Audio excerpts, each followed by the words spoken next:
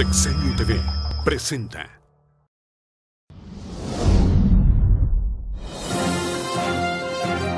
Ante los hechos violentos registrados en Ochistlán, Oaxaca, no hay avances entre la CENTE y la Secretaría de Gobernación. El priista Enrique Dojer Guerrero consideró que al igual que Manlio Fabio Beltrones, Jorge Estefan Chidiac debe renunciar a la dirigencia estatal. A través de Twitter, la coordinadora de los diputados locales del PRI, Silvia Tanuso Osorio, puso en su lugar al regidor de su mismo partido, Iván Galindo Castillejos. En gira de trabajo por Izúcar de Matamoros, el gobernador Rafael Moreno Valle entregó espacios educativos y acciones de fortalecimiento al campo.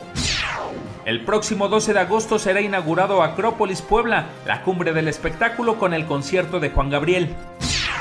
Alan Turing es considerado un gran matemático británico, además de una de las piezas clave en el mundo de la computación. Sin embargo, debido a su homosexualidad, fue condenado en Inglaterra. Hoy se cumplen 104 años de su nacimiento.